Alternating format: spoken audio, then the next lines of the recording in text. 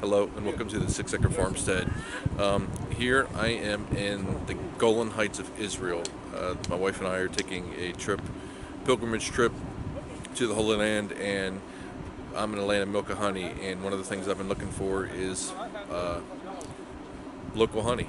Um, and I've gone to a few shops and seen in a jars commercial there, but actually we happened to pull off up here in the Golan Heights, and we were still in, in Israel, and to this overlook area with our, our uh, tour guide is with the rest of the group, and I actually happened to our bus driver. He knows I'm, I'm a big bee, beekeeper and into honey and stuff. There, he pointed out to me this guy who's selling local honey here at the roadside stand. So.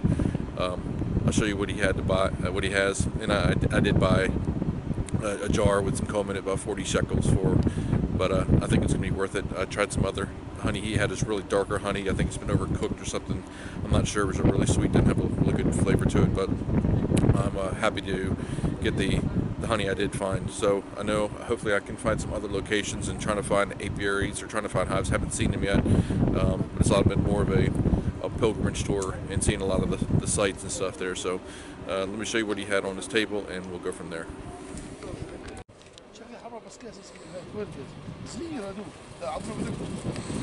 And that's the, the honey that I bought. The, uh, these here were about uh, It's good. 50 shekels. I bought one of the ones here with the uh, comb in it for uh, 40 shekels. Um, don't know really the the cost in US, but you know I thought it the uh, the darker one. I, I we tried this and it was like really like overcooked and really had a pudding. It's- it's was, really wasn't a, a great flavor, but it was, it was sweet and stuff there, but nothing that I was really in, interested in. But I did see the comb honey. Um, these and they wanted 50 some shekels. I think it was a bit big for one would transport and try to find some other jars there. But like I did buy that there. So and this is the uh, individual it from. Uh, don't know his name, but you know I'm always glad to uh, find another beekeeper and support the local economy there. So that's uh, what I found.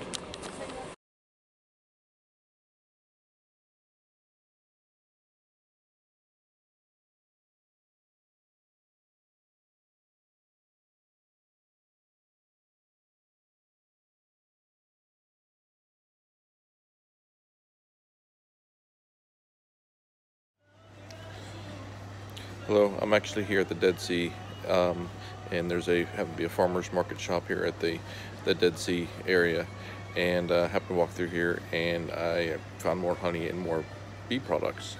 So uh, some of the prices you may see are in Israeli shekels. So you figure if it's one U.S. dollar to almost like three dollars and sixty, three dollars seventy cents in shekels, whatever, to one U.S. dollar. So if you see the prices on these things, that's what it is there. But I'm gonna flip the camera around and uh, show you what they have here to offer.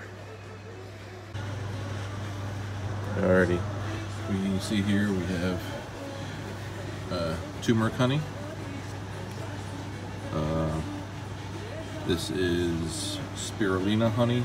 I guess mixed in together. Probably trials. I haven't tried them. There's some honey in the comb. Here, this is uh, 72 shekels for that. And some bigger jars here. It's uh, 95 shekels for that comb honey. And I wish I could read this, but I have no idea what it says. So for those who can, I'll go around and show that off. There's some more smaller jars here. 17, 27, 41. Um, over here, we have bee pollen. Um, 100 shekels for that. And everything has, it, they have to have uh, expiration dates on the top of that there. So I guess uh, November 26th of 2019 is when that expires. And I guess you put it in the freezer, it'll be fine. Royal jelly. 100 shekels there. Propolis. And I guess this is a pollen honey mixture kind of thing, I would guess they're pollen it. But yeah, looks very, I'm, I'm taking I guess a pollen honey mixture. And I guess they have some Holy Land honeys here.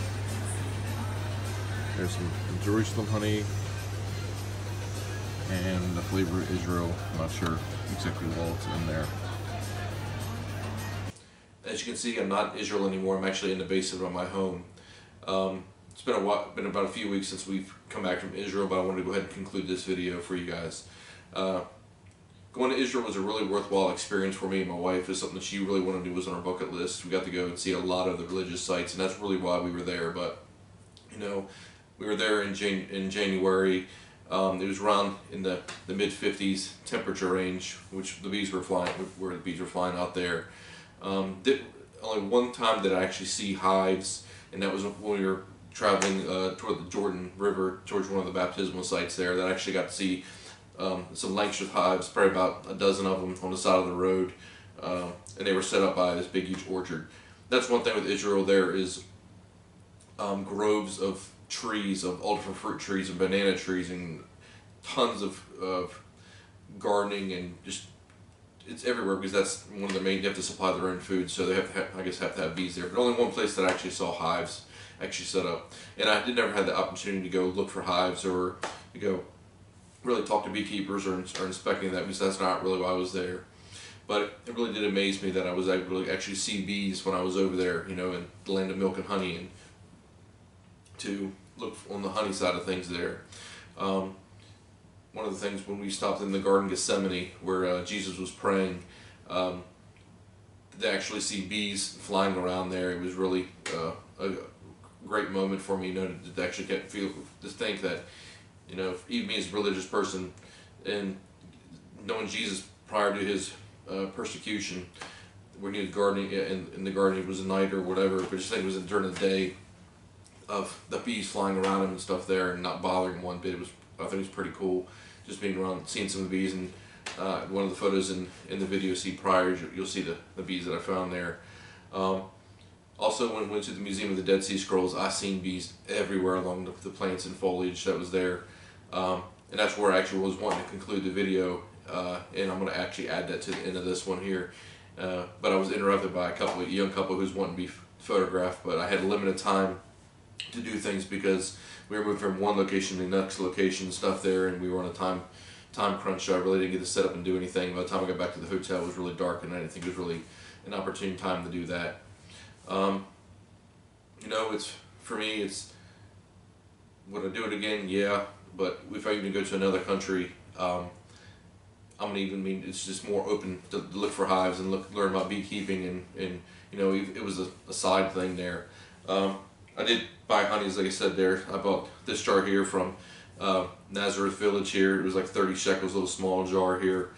I tasted it and actually brought my bee, brought my honey samples to my bee club there and we tasted them. This is like really commercialized, you can really tell. I mean, it, it tastes like honey, it almost like a clover honey to me. Um, but I did want to come back with, with honey uh, from there. And as you seen beforehand, the uh, the jar here that I got from the uh, old farmer uh, from Golan Heights. Um, you know, you can see the excitement on my face and just the way I was talking when I was when I was able to acquire this here. But there's one few things that I looked at, just made sure, and I'm going to explain here a little bit later in this video here. Um, you know, just to, to find honey and, and, and, find out, you know, we none of the hotels we stayed at, um, and I've seen pictures from other hotels and in the Middle East and Israel where they have the big frame honey. You cut out sections of comb honey. There's none of the hotels I actually had that, which I was fine with. I mean, I wasn't expecting it, but to find this comb honey and this this is actually really good stuff here, um, and you know it's something I'm gonna savor and and, and uh, really appreciate that you know this is honey that I actually got from the land of and honey Israel. Um, but one thing I want to bring to your attention with, with honey and stuff there. Uh, if you ever go to a foreign country and you know you're going vacationing and you're a beekeeper you want to bring back honey um, I found this out somewhat the hard way so I'm going to explain it to you now so you learn on your own when you bring back honey especially if it has comb honey really look at it and make sure there's no larva in the comb yeah you know that anyways and just making sure don't even if there was a, a, a little bit of larva you're not going to worry too much about it in the comb I don't know, that's not me. Um, especially if you can see inside there and there's no label on here which actually helped me out a lot. When I came back into the United States I flew into Dulles Airport in Virginia and one of the first things you go through is you go through customs and you go to declare did you have any um, what, what are you bringing back there? And I declared I had two jars of honey. And the customs officer asked me, did you, was there any comb in it? And I said, yes, right then and there. Um, it's, be, it's all on, you can say no, but I was being honest with there. I went to secondary. So if you ever bring back home honey, you're going to go to secondary. And the problem was, I was with a big group and we were wanting to get home. It's been a long flight. And I was in secondary for about an hour before I got really um, waited on and can uh, get show my jars of honey. So if you bring back honey, don't have comb in it, but if you want to have comb honey, expect to be pulled from, uh, by customs officers. But one of the things that I, prior to the, when I met with my, my customs officer, when I had to explain what was going on, had to tell them where my honey was, pull it out of my luggage and show it to them, um, and explain to them that I was a beekeeper, uh, many years of beekeeping, just let them know, and I knew what to look for, and basically, when I was able to show them the jar and prove them um, that there's no insects, that's one of the main things they're looking for. They don't want you to bring any kind of insects or plant life in, from a foreign country into the United States. Who know? Uh, who knows what? Yeah, and I know it's, it's beekeeping and bees and this and that, but I think it, it just it's a, it applies all across the board. Um, don't bring any kind of insects or bugs. So I had to prove that there was no larva in there. So looking through the jar and you can see there was no larva or anything in the comb. Um, and when she accepted that and understood that there, she just, enjoy honey, thank you very much. And it took a while to get through to finalize, get everything together, but didn't have to pay any fines, fortunately, or didn't do any of that there. But just keep that in mind when you're uh, coming back from a foreign country. If you're going to bring back honey, um, and especially if it has comb in it, you're going to get pulled for secondary. If you just have regular honey there and there's no comb in it, um, they may pull you anyways because they're, they're not sure.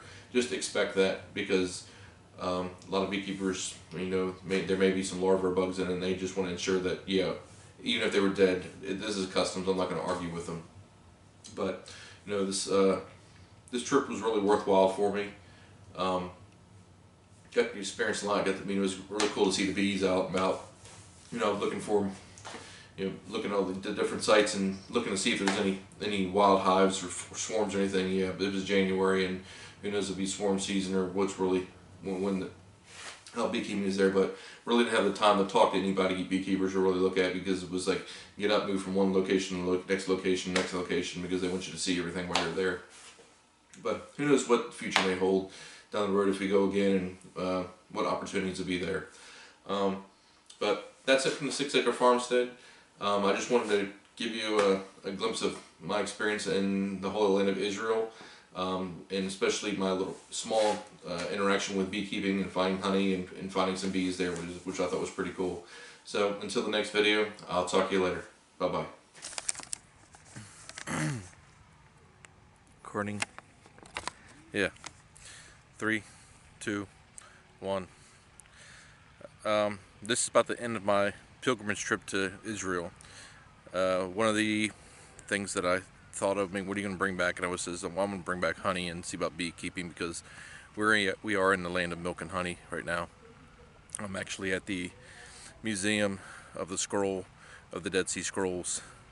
And, uh, you know, everywhere I go and I see the flowers, I'm looking for the bees and honeybees. And even here at this location here, I got bees flying around me, which is cool. That's why I sat right here. Um, you know, it all started off me just keeping an eye on things. Went to Golan Heights and Sinai uh, some uh, a, a, guy selling some wares at a roadside stand and bought some honey off of him. Um, from Bet Shean to uh, the Jordan River Baptistry, seen some hives, hives the, on the side of the road. Uh, seen honey and honey products from the Dead Sea. I guess I'm going to record this in a bit. Hold on.